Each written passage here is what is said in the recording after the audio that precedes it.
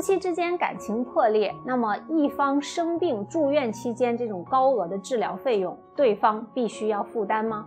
大家好，我是艾米尔，给大家分享一个真实的案例啊。小伟和小华本来是一对自由恋爱结婚的夫妻，可是婚后呢，因为小华迟迟不能怀孕，怀孕之后又流产过两次，因为孩子的事情，两个人闹的就感情破裂，小伟和小华之间几乎没有什么沟通。正在这个节骨眼上，小华被查出了癌症，于是呢住院治疗，前前后后花了差不多十八万的治疗费用。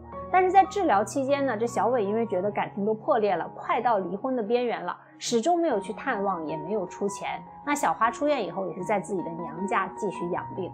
但是小华她自己的经济实力也负担不起这笔医疗的费用。呃，有一部分医保报销了，但是还差十几万。于是呢，他就找这个小伟要，小伟不给，他就把小伟告上了法庭。那么你觉得法庭会怎么判呢？这个根据《中华人民共和国民法典》的第一千零五十九条，他是这样说的：说夫妻有相互抚养的义务。注意这个抚养啊，是那个扶持的扶，而不是抚育下一代的那个抚。抚养的义务，也就是说，需要抚养的一方在另一方不履行这种抚养的义务的时候，是可以要求他付这个抚养费的，是有这个权利的。所以呢，这个小华告上法庭之后，小伟呢就辩称说自己也很困难，欠了三十万的外债等等。那法庭肯定要肯定是。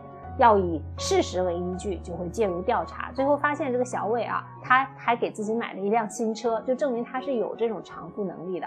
最后经过法院的判定，小伟要支付小华住院期间的这种呃医疗费用，也就是说这是算夫妻的共同债务的，这就是结果。所以我们回到刚才那个问题啊，就是夫妻之间只要你们还没有离婚，那么在。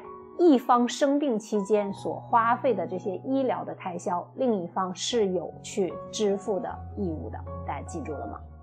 如果大家喜欢我今天的内容，欢迎大家点赞、收藏、分享、转发。有什么话在下面给我留言。